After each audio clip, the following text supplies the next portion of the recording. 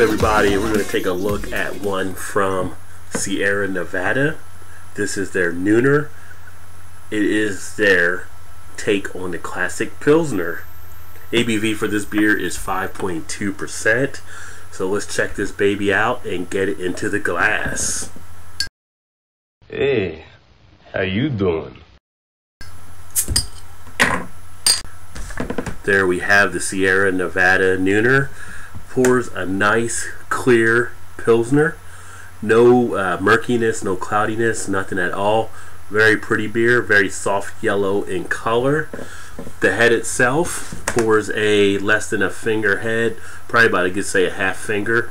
Um, doesn't look like it's going to hold anything for the glass lacing but we'll check it out as we drink down through this beer.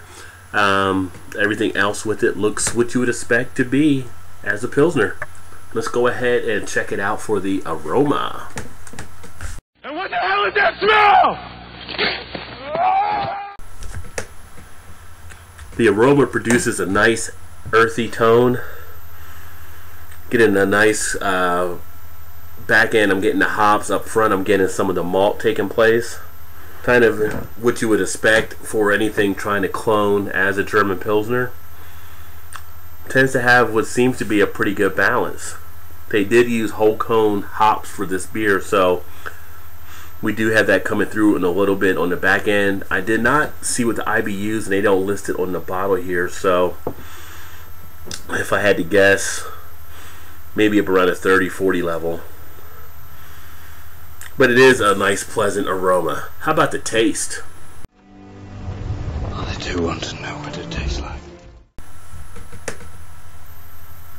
Wow. On the taste it delivers a nice mouthfeel um, getting a pretty good moderate sensation of the malt. It's very dry um, no astringency very pleasant nice dry finish. It actually hangs in there pretty well um, as far as the taste and the duration.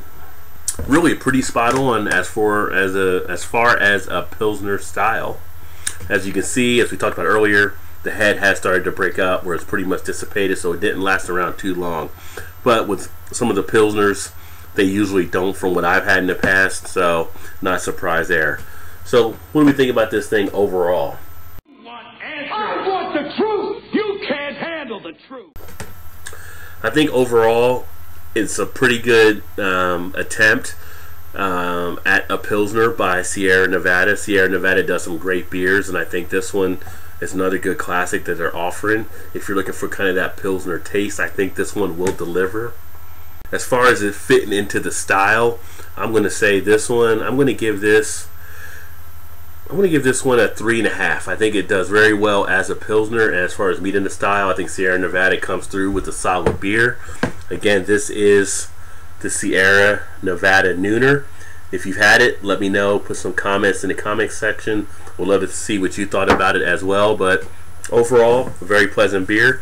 As far as anything with the carbonation, not seeing much happen in there. So carbonation is not really really too lively. Uh, can see some bubbles floating around, but you can feel that carbonation when you do drink it. But you're not getting uh, anything coming back up as far as too much of a, a belching or anything like that. Now, if I did a big chug, that probably would happen. But overall, nice pleasant beer that you can actually drink this down with a nice crisp finish. Great product. So check it out. Let me know what you think. Sierra Nevada Nooner. Cheers. Look forward to seeing you next time. Thanks for swinging by.